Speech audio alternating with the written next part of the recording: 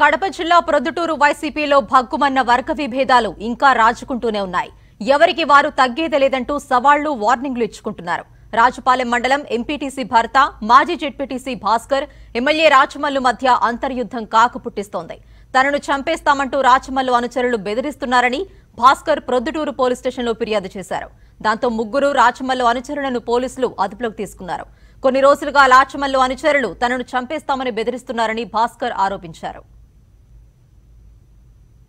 నువ్వు జగన్మోహన్ రెడ్డి మనిషి అని చెప్పి నాకు మండలాధ్యక్షుడు ఇకపోయినా కూడా బరాయించిన.